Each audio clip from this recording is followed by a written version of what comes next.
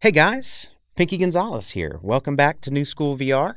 This is the third show, and today we're going to be interviewing Nathanael Andreini. This is also going to be a unique show, even for the New School VR podcast itself. And even though we're so new, uh, Nathanael does not come from a VR background. He's not a technologist, he's not an engineer, he's not a 3D designer. He is a community educator. We met recently at a social gathering in Portland and got to talking about what we're doing here with the New School podcast and what he has done all over the world, as you'll hear in just a moment, with community education.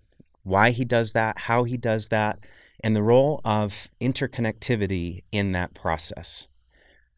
I felt like it was an important uh, opportunity. It's an important subject, and it, it, with things being so new in the VR space right now, with so many programs and experiences and environments yet to make, when we think about the potential of VR in in the learning experience, we tend to think, "How can I make learning fun like a game?" And that's fine. We'll we'll have lots of time to talk about that approach. When we talk about empathy the ability to better understand through personal experience, that's a different ballgame. It's challenging because we don't know what we don't know yet in this space. We have to invent the best practices and uh, and the killer apps, so to speak. So we don't quite know what the right experience is going to be. But I think what you'll hear from Nathanael is the why. Why it's important that we better understand each other and then the how. How has he through workshops and otherwise helped uh, help people primarily students um, but of all, all ages uh, better understand their their classmates their community and even themselves through social uh, sort of guided social experiences that I think we can take some lessons from and apply in virtual and augmented space. So, with that in mind, I hope you enjoy the interview. Nathanael is a brilliant, wonderful person. Um, all of the links that, uh, all of the names and, and uh, links to various websites that he mentions in the interview are now available, if you're hearing this, on uh, newschoolvr.com under uh, the, the specific show uh, section. So, with that, let's get into it. Welcome to a show about learning technologies so powerful they transcend the boundaries of reality itself. I'm your host, Pinky Gonzales, and this is New School VR.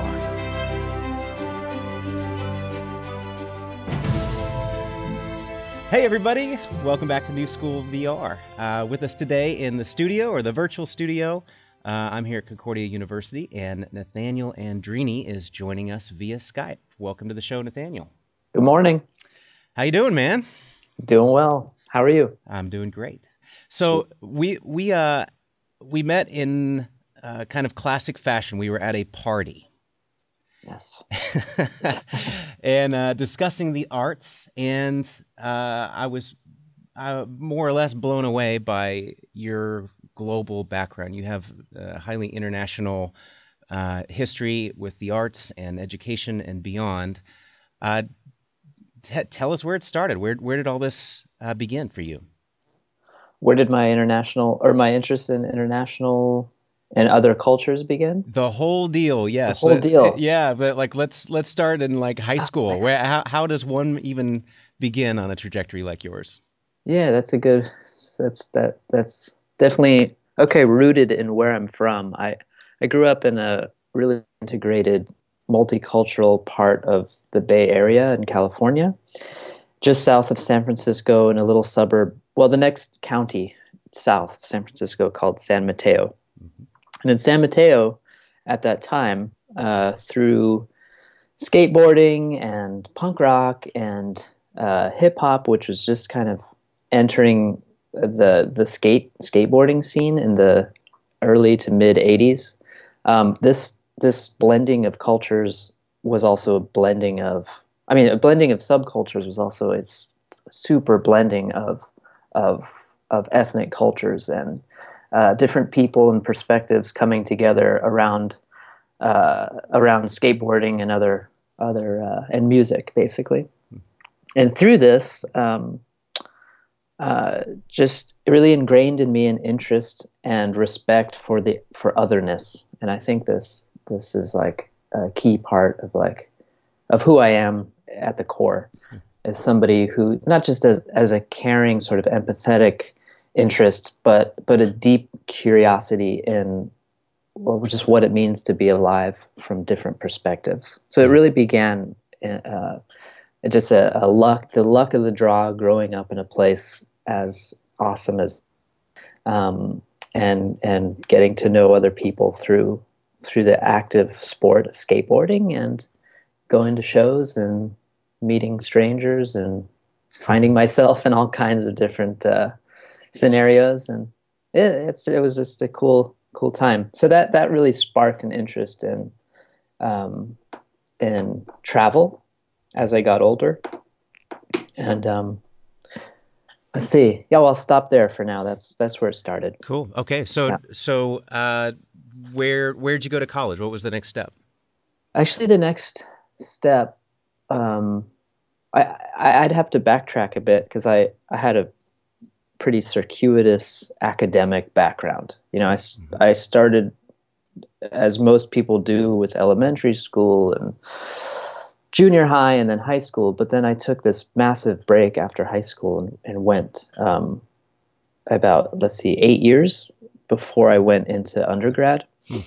And in that time, I uh, lived in Paris for, it was my first trip abroad actually i bought a one-way ticket wow nice yeah and in fact i was enrolled in the local community college at the time uh, uh, let's see it's called uh, csm community college of san mateo and i was there just taking general ed courses um, after high school not seriously just you know two or three per semester and working odd jobs and uh, I'm one of my friends, another skater kid, had disappeared for a while, and then he came back after six months.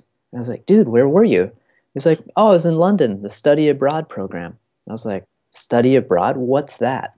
I had no idea. I was 20 years old and I had no clue what study abroad was. Huh. He told me all about it. and literally, the day that day, I went directly to the study abroad office, signed up for the next trip, which happened to be Paris. Like it was leaving in uh, one month. All I had to do was cough up um, enough money to get a ticket, hmm. and off I went. And you know, one month later, I was on a on a plane, and uh, I stayed there for about six months. Totally bagged the the um, the classes. Like used, I cut cut every class. nice. and just uh, skated around Paris, ate crepes, went to, you know, checked out different shows, and oh, had the best time of my life. Wow. And I came back when I ran out of money six months later. failed, failed every course. Mm. So that was a good start to a, a, a, a highly acclaimed academic career. Absolutely, yeah. Not so, a lot of people know that. I love that. That so when when did you get serious about school? Was that that the eight years later? Yeah, eight years later. So after that Paris trip, I came back and worked odd jobs, moved around a bit. I lived in uh, in uh, Seattle for a few years, and I started picking up photography. And I was self-taught and um, ran my own dark rooms. And this is pre-digital, mm-hmm. and uh, from there and I wasn't serious about it in the ter- in the way that I became serious about it academically later. I was just into the science of it, shooting and developing and printing and, and just looking. It was less about ex- exhibitions and getting my name out there. As it was way more about the experience. And that just that again, that deep curiosity um, of others, because I was shooting mostly people, had that thread had started as a kid and really came through with my photography. Um, and I went to Boston for a while, and then I moved to Portland, Oregon. This is all in like a five-year period, and it was in Portland. This is now eight years forward. Um, I discovered the local art school here, uh, Pacific Northwest College of Art, PNCA. Mm-hmm. I totally randomly went in. I met some girl at Fred Meyer, and she was like, "Hey, you like photography? Let's go to this exhibition at PNCA." And I was like, "Oh, what's that?" She, oh, "I'll take you." So she, we went on a date, kind of a date, and uh, ended she, up. she didn't know it was a date. no, no, no. Actually, I didn't know it was a date. nice. I, she asked me out, and I was like, "Yeah, cool, new friend." Anyway, she took me to PNCA, and um, and I, it was there, standing in the Commons uh, in the old building, which is now torn down on Northwest Johnson and 12th, uh, that I said to myself, "Huh, art school. Yeah, that could be interesting." And I, I applied, and a year later, I started. Wow. So, what was your your focus while you were there? It was initially print. Uh, sorry, it was initially photography, but at that point, the digital switch had happened, and I was less interested.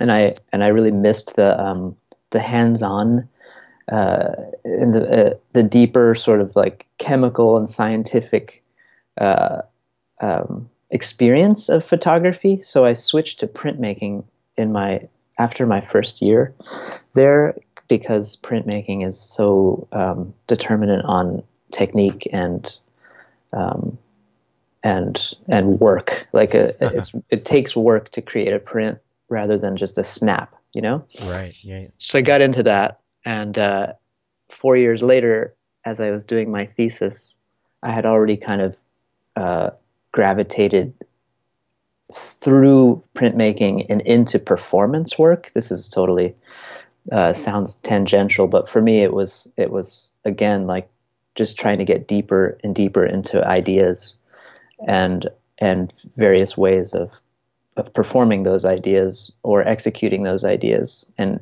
my thesis really turned into this multimedia installation, sculpture, photography, printmaking, and performance based work. This Wow. whole whole series of work that I did.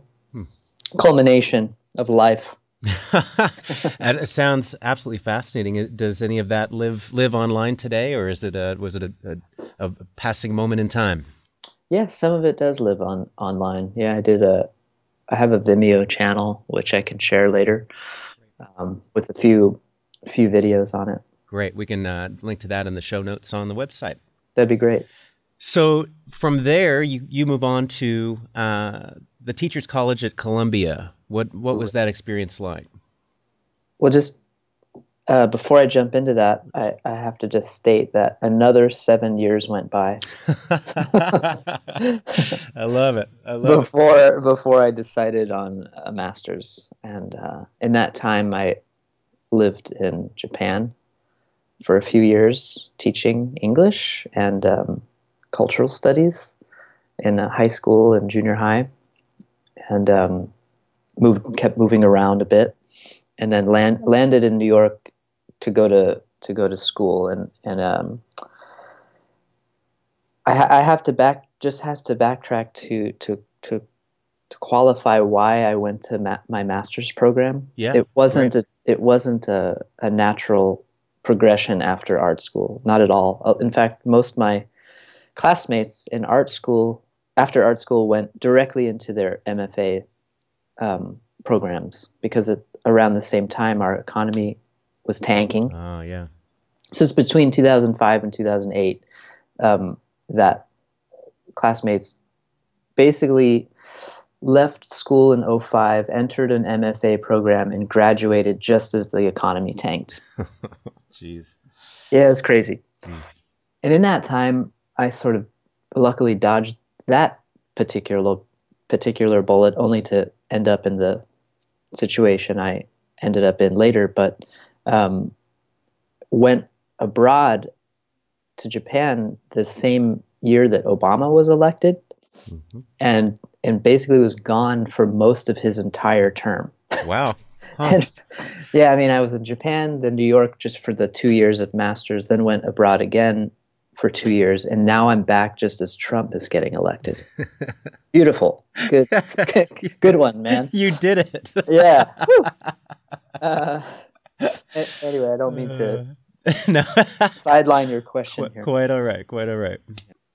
So I was in Japan three years, 09 through 012 to, through 2012 and in 2011 in March is when the giant earthquake mm. and tsunami and whole Fukushima meltdown happened. Yeah.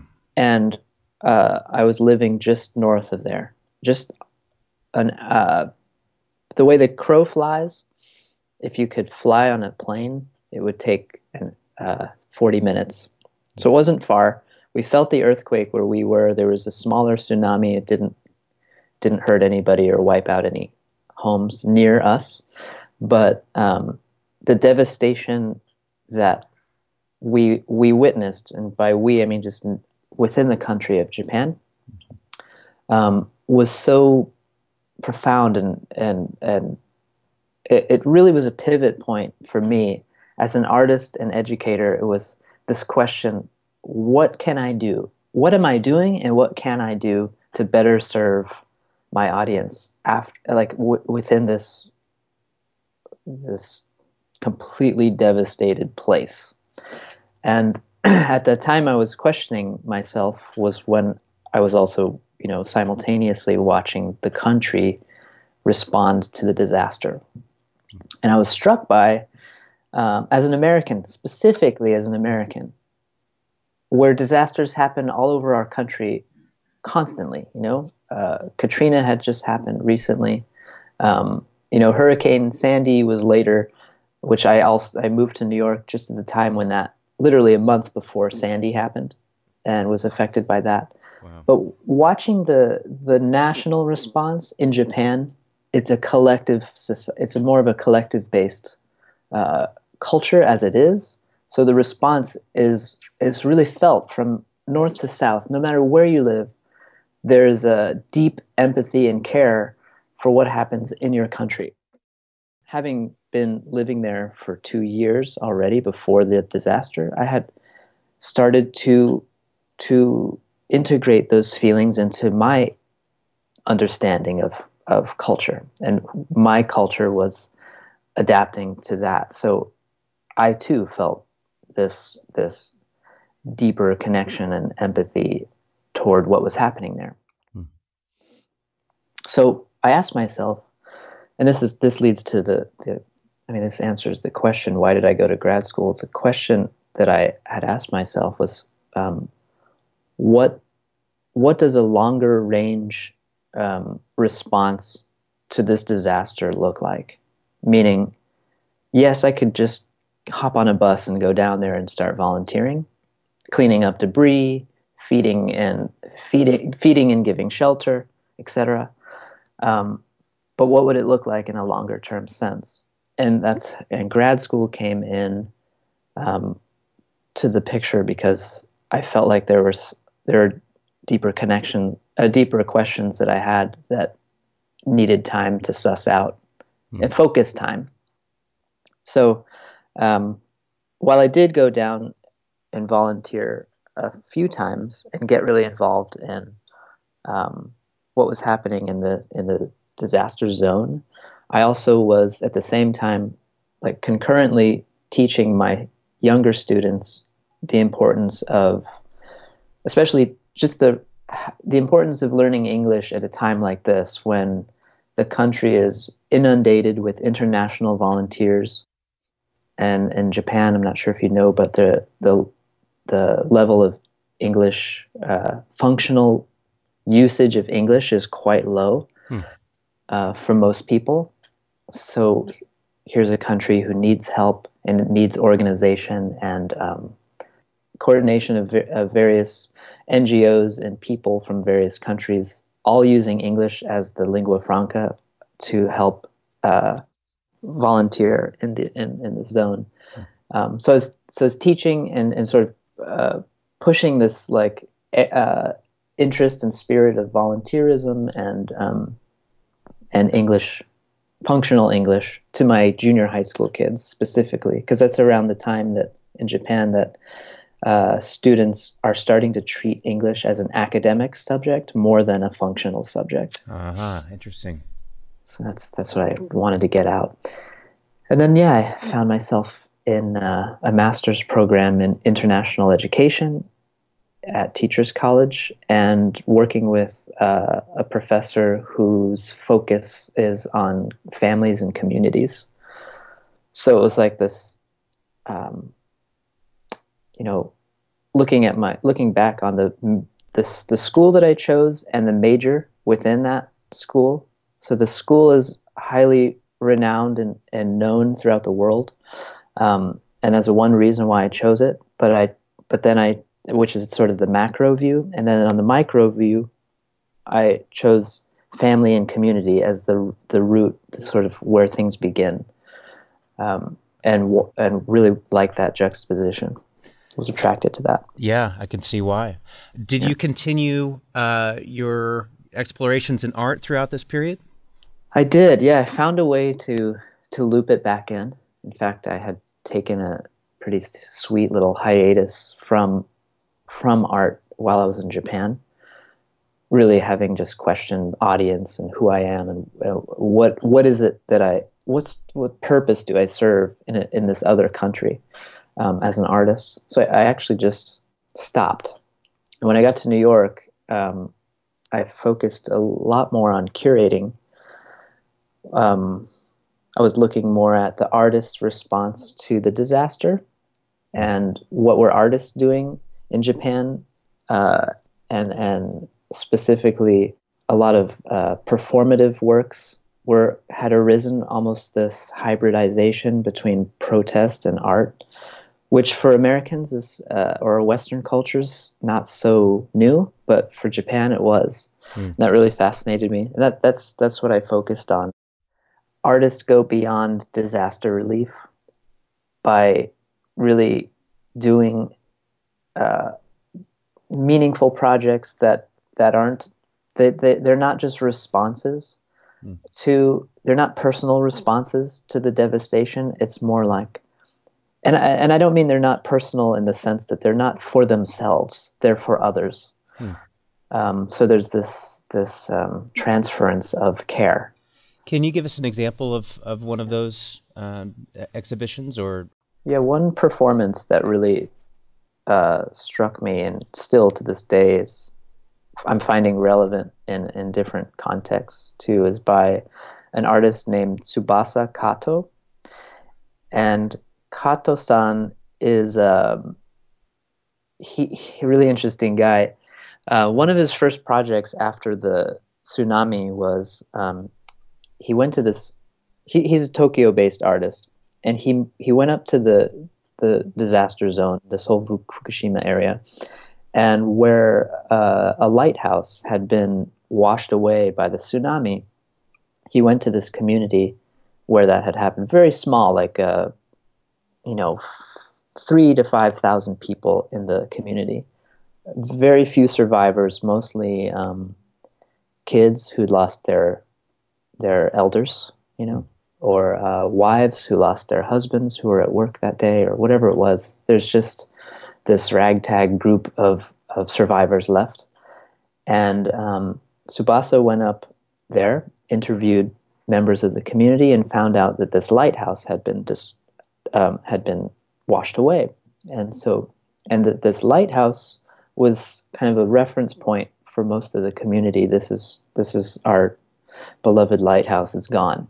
Mm. So what he did was he reconstructed the entire lighthouse and uh, to to scale, uh, which is in and of itself uh, took a, it was a community effort to to reconstruct it. But he he had his project is called the pull and raise. So just if you can imagine, he reconstructed the lighthouse as it's laying on its side, hmm. and then affixes pulleys and ropes to it and as a community, they hundreds of people pulling on ropes to literally erect this thing back up to its original state. Wow. And that's the project, pull and raise. So he goes around different he went around different communities and and did other iterations of this. Wow. Pretty neat. Yeah, yeah. that's that's extraordinary. So, what really caught my my attention uh, after our initial conversation was the work that you've done with the Open Space Performing Arts program. Can you tell us a little bit about that? So, Open Space Performing Arts, OSPA, we'll call it, the acronym, um, is a project that I began in Slovenia, where I was living after my master's program. Uh, and it was really in response to with a few things. The main one was that the first year I was living there, um, I was a resident educator in a small museum. And in that museum, uh, I was connecting with a lot of teachers who were bringing their students through the through the space. And through one of these teacher contacts, I found out about in the local news uh, in an elementary school there was a, um, a group of Slovenian kids who had beat up and killed a Bosnian. Mm. And so this, as bullying is a, obviously a, a, a, an important subject in any country, having just come out of my master's program, I thought, oh man, this is happening here too. Wow. Mm. Uh, what again, what can what can I do? I'm an educator. I'm an artist. I've got interests in um, uh, healing in various forms. What can I do in response to this?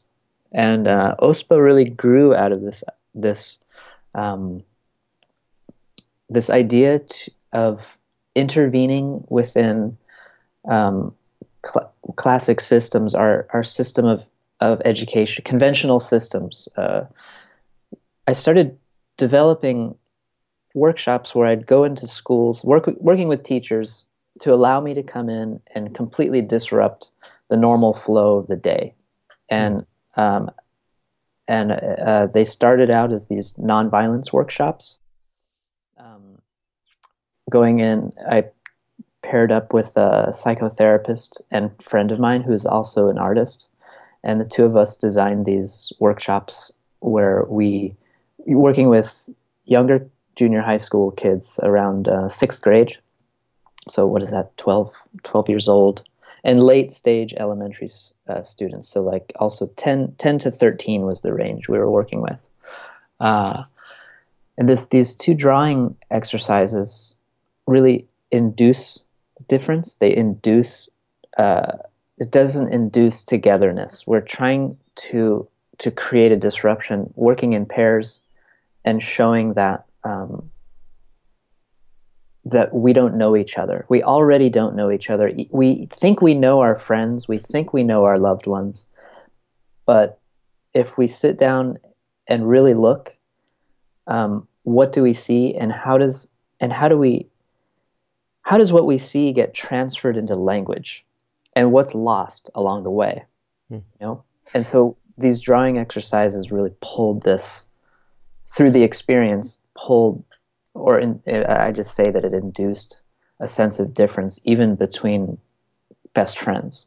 What was the actual um, the exercise? craft? Yeah uh-huh. so it started there's two. Uh, the first one it's a two step or two part workshop. Um, the first one is we have get the kids to choose a pair. So they're working with their friend, and they sit back to back. And you've probably heard of this kind of a common, somewhat common exercise. One of the kids is holding an item, a secret item, whatever it is. Like we, we give it to them. Maybe it's like a watch band or a, a, a iPhone cord or something, like a, headphones. And the other kid doesn't know what it is, who's sitting behind them, back to back. And that the kid who's holding the the item has to describe what it is without saying what it is. For example, it's long and really thin, and there's uh, the long part is is circular, and on each end there's a, a, a, a round, stubby piece with a hole in it you know it's this kind of thing and as that as the description comes the the other kid is drawing what they hear mm-hmm. and and this takes about 10 minutes and there's a lot of laughter it's crazy because no one really can i mean how often do we sit and really describe what it is that we are common everyday items mm-hmm. we don't We just accept them as they are. So that's that's hard in and of itself to describe your your surroundings. But the person drawing also has the the uh, the burden of trying to to to draw it out. And and it's always interesting to show so once we start comparing the description with the drawing it's it's literally and I've been doing this for years and I've done it with hundreds of kids. I would say one or two times it's been accurate. The drawing has been accurate. wow. I love so that's that. that's a fun one. Yeah. So obviously the person who is describing the object, they can't see what's being drawn either, right? No, no. So they're not helping them along at all. so I can see that being a lot of fun and, and interesting. What what's the outcome from that? What what are you hoping to see, and, and when do you know if it worked? Well, just that the when the that, that question is more answered at the end of the second workshop. So this in the second workshop, we turn the chairs so they're facing each other, and without looking, and they're both holding. Uh, uh, a pen and a drawing board with a blank piece of paper on top. And they're facing each other, looking at each other's faces, but they're, neither of them are allowed to look down at their own drawing. And so, very slowly, and we give them 10 minutes, 10 full minutes to try to draw in detail without looking at your page the person's face in front of you. And these are also super hilarious. But there's an intimacy in the action, the action of look, deep looking, and it's, it's really intimate and and embarrassing, um, and and tender, and confrontational, and the and that's the experience that I think, after having sat back to back, there's just um, there's a real uh, uh, kind of a zooming in on your partner, whoever that partner is, boy or girl, friend or foe. There's this, uh, I think, by taking away and then this, I, I like this, like taking away and then and then putting it back in. So taking away is the back to back, and then putting back in focus is face to face. And so the workshops are about the experience and they're also about the outcome and the outcomes are those drawings hmm. um, so how do i know it works a lot of this is really based on the kind of conversation that Tina and I, my partner in this, Tina and I facilitated throughout. So we're talking about difference. We're talking about racism. We're talking about what is it, what does it mean to not know, and why does that drive us to be violent? And we're we're facilitating conversations about these things as the kids are doing the drawings and um, and then it's it wraps up in the end. It's about a four hour, three to four hour workshop, and at the very end, we um, we ask a lot of questions and we kind of crowdsource various answers about um, ideas of love and hate, and very rudimentary because they're we're working with kids here, and the last thing we want to do is just come in and lecture them about what it is they should or should not think. Mm-hmm. So it's really like trying to extract um, extract what's inside them, but then also I don't know, sort of curate those moments a little bit too. I think that's really profound stuff. Uh, my ulterior motive, or my my uh, my interest in having you on the show, even though we're not talking specifically about virtual reality or augmented or mixed reality, is of the of all of the things that all of the experts in all of the these uh, new industries in, in virtual and augmented, uh, uh, both hardware, software, and experiential design talk about is the potential in education mm-hmm. and its ability to inspire or incite empathy.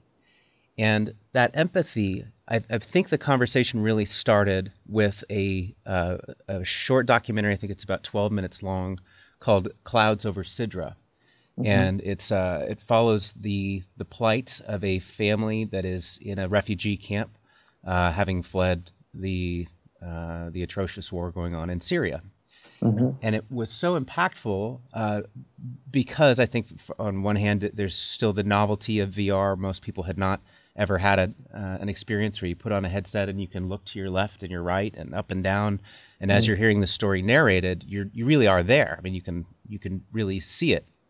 Um, however, I think there's a, a, a much deeper level yet to explore, and it's really the live interpersonal potential of of these technologies. Um, the uh, in the last interview with uh, uh, Paul Reynolds, formerly of, of uh, Magic Leap and now with Ver- Vertex Labs, um, we talked a little bit about a uh, a YouTube video where there's a, a student who's learning calculus and he's using a painting program called Tilt Brush to just scratch out um, formulas, math, you know, formulas, just as he would on a whiteboard. There was there was no additional calculation going on or computer assistance in in what was going on. He was just using this artistic tool in Mm. order to um, to work through numbers. and uh, the coolest thing was that his professor was able to be in that space with him, and they could have full conversation around this. So, as you describe these interpersonal um, uh, exercises, I really think all of us in this industry should be thinking about um, real world human interactions, ways where if, if we're serious about empathy, we're really looking beyond just storytelling or um, I'm in a documentary about somebody's life, therefore I'm having a, a more personal experience with it than I would if I was, you know, in a movie theater or, or watching this online or whatever. Um, did you are, are there other forms of uh, workshops and and uh, uh, activities you did with these kids and, and others? Yeah, absolutely. So, as I mentioned, the, these nonviolence workshops is is where the seeds for OSPA really began, um, and OSPA grew out of these. Uh, later that year, I de- I developed a, a program targeting um, uh, teen teen girls. This is all uh, again like trying to give voice to those who who don't really have one in the specific communities that I was working in within Slovenia. It's uh, still quite a, a masculine-based society, and um, I was curious about what are girls' perspectives, and not only just girls, but girls who come from um, these other parts of the Balkans, who who have whose parents and grandparents have settled in Slovenia, who might be from uh, f- countries that were part of Yugoslavia beforehand, before independence, so Serbian, Bosnian, Macedonian, etc. And so, working with um, a youth association to find and find these communities and and and find uh, interested girls in our program, we we we ran a pilot that in 2015, and what it was was uh, it's, it's OSPA's at its heart an experiential arts program, and uh, that really focuses and tries to cultivate a sense of social and emotional tel- intelligence, um, cross-cultural skills, and team building. And uh, the methods that I I really worked with are inquiry-based. So um, it's all about eliciting participant responses to questions that that that the program asks. And through our program we really focused on identity culture and what what home means. What is this what, what is home all about?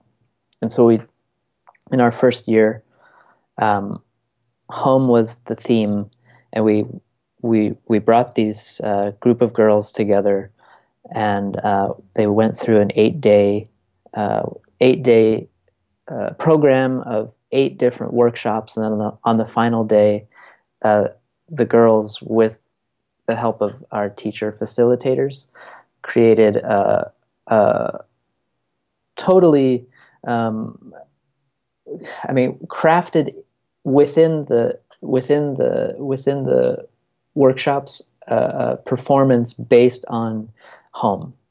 So. Um, in a nutshell, that's what it is. It's it starts with uh, um, an, a workshop on creative writing. This is kind of where we start them out. You know, it's internal. It's writing. You you get your ideas out onto the page, and once they're out onto the page, the next workshop everything is scaffolded it scaffolded in, in this way so that the next workshop it's about interviewing and what's been written on the page is now um, is is embodied through voice right mm. and then in the third interview we we mix it up and have fun and do a music project where um, some of the some of the pieces that have been written or interviewed about find their way into lyrics of a song and we have a professional um, musical engineer in there recording and leading a song making workshop. And then the fourth day, uh, there's uh, we we really extrapolate on sound and get into um, foley arts, for example, how to make a scene sound with what happens behind the scenes of a of a of a scene that we watch in a movie, and so the girls uh, decide on a uh, again, all based on what we've talked about in terms of home. They create a scene and then all the sound and foley arts for that. Hmm. And so we just we just build from workshop to workshop, and by the end, um, really what we're focusing on is performing our identities, right? And that's I teach a, a workshop. It's one of the final ones before we direct the before we direct the theater piece. Is um, is all on what does it mean and what does it look like and what can it look like to perform yourself to, you know I mean? Yeah. Wow. Yeah. So yeah and then on the final day we invite a bunch of folks and friends and families and people from the community to come and watch this performance. Wow. Yeah. in in that performance setting is it is it common for there to be community performances or is this a, a unique uh, experience for, for those who participate? Uh, it's I think it's pretty unique for Slovenia, having um, more of a traditional. I mean, not that it's a traditional society. There's a lot of avant-garde and interesting uh, subcultures in terms of theater and um, and play and performance. Um, but this the inquiry part, like we these girls performed themselves as authentically as as as ever by the end of the workshop. And we just pull it out. We're just extracting and eliciting yeah. And, and, and teaching various techniques along the way. That is so and cool. I think in that sense, it is unique. yeah. Wow. So that's that's brilliant. Are, are there other examples of of uh, workshops and, and experiences you've uh, you've put together through the program? Through OSPA? Mm-hmm. Uh, no, actually, I ended up leaving Slovenia not too long after we did the pilot. Um, but we did get linked up with our, our core team. There's three of us. Uh, one one gal who's been living in Slovenia for a long time. She's originally from Macedonia, and uh, another colleague from Canada, and then me, an American. So we're a multicultural bunch, and um, uh, coming from various places, and we all three of us have kind of left the orbit. and um, but but we did just before I left. We got connected with the School of Social Work at the University of Ljubljana. Mm-hmm. Uh, and got to go and do a lecture and a and a sort of mini version of the of the OSPA workshops with students who are uh, learning about various methods of youth work. that was really cool for us mm. to go do. So it's after the pilot, yeah, we kind of got more into um, doing workshops for yeah university students and other lecturing. Uh-huh. So, so what are your interests from here? You've you've had uh, many many adventures before and after all of this. Where where do you go next? Oh God, you know that's a question I I'm still asking myself. I I I'm back in Portland after uh, being away for seven years, and uh, this last seven years included the most sort of the biggest pivot points of my life in terms of my profession. And one thing that I feel like, um, for all the experience I've had and all the places I've been and the people I've met and the projects I've done, one thing that's lacking is um, is is time in time in terms of uh, uh, consistency and time in one specific place, a place to culminate and bring this all back. And right now, I mean, moving back to Portland represents that for me. Um, coming back here, I want to put this energy to use, but I want it to be more consistent and less project based. Mm-hmm. Um, so I'm just yeah, I'm hoping that that the next that the next thing that I do isn't just an iteration of what I've been doing before necessarily, and not necessarily um, uh, a building block for something better or bigger, but more consistent. That's what I'm looking for.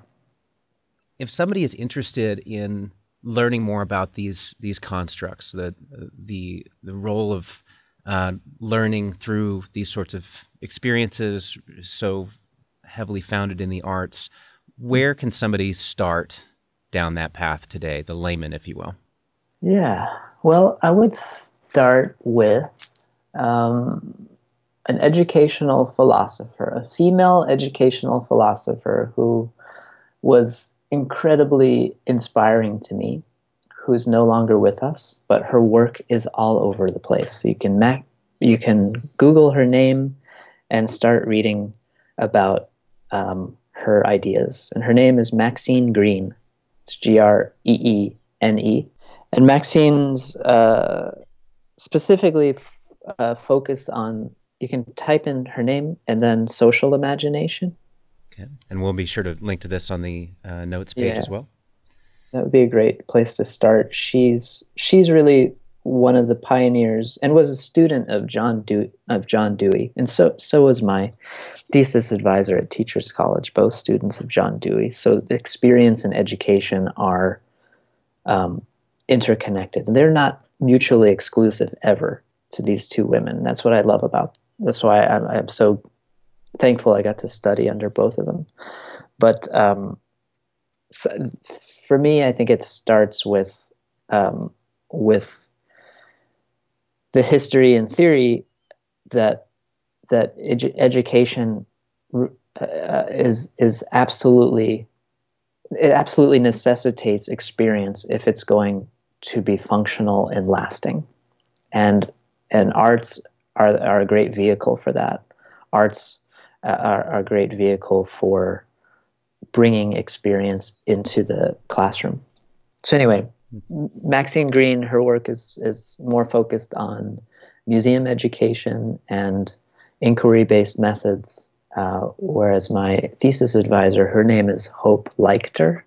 That's L E I C T, sorry, L E I C H T E R. Uh, both focus on experience and education. And there are others out there, but I think it really, uh, in our modern modern age, those two women are, are should be at, at the beginning and top of everyone's reading list. Outstanding. Yeah. Nathanael Andreini, thank you so much for your time. This is a fascinating. Uh, uh, it's a fascinating world. It's it's fascinating to think about the the role of education in direct community outreach and uh, the, using using art as a way not only to express ourselves from the inside out, but to actually better connect with each other. And uh, I think we've got a long way to go in terms of how we incorporate technology into that, which has a uh, a certain way of uh, isolating us at times. It's so easy to disappear into our phone, you know. Yeah. Uh, and so the with the great hope of of a virtual experiences, one of one of the the highest of hopes being to bring people together and, and to help uh, learners better better engage. Um, further mm-hmm. participate uh, and embody that experience in a much more literal way than um, than we've been able to to this point in human history. Um, I think these non-technology assisted examples are a really good start in terms of how how to be thinking about it and and what's important and what the motivation behind all of this really can be. Yeah, absolutely. Well, um, thanks for having me on the show, and uh, I'd like to say to anyone who's out there, if you want to collaborate, hit me up.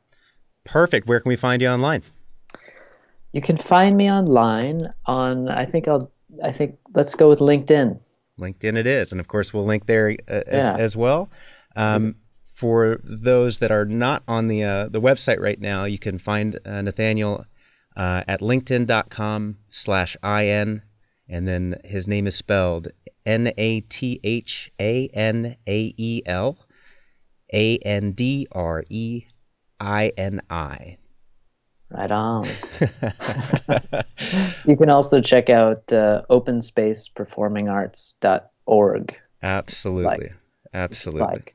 I would like, and I Alrighty. will. awesome, man. Well, thank you again so much, and uh, we'll look forward to seeing where all this leads from here. Thanks, man. Have a good one. All right, you too. Bye bye. All right. Takes. Bye. New School VR is graciously supported by and recorded live at Concordia University in beautiful Portland, Oregon. For over 100 years, Concordia has been preparing teachers and learning professionals for life and for a living. For more information, visit cu-portland.edu. And by Dot Dot Dash, an experiential design and technology studio specializing in custom virtual reality and experiential marketing activations that incite wonder and inspire action. See more at dot-dash.io. If you enjoyed this episode, please subscribe on iTunes or through your favorite podcast delivery app. Visit us online at newschoolvr.com, and thanks for listening. I'm your host, Pinky Gonzales, and this is New School VR. This VR po- podcast is dope.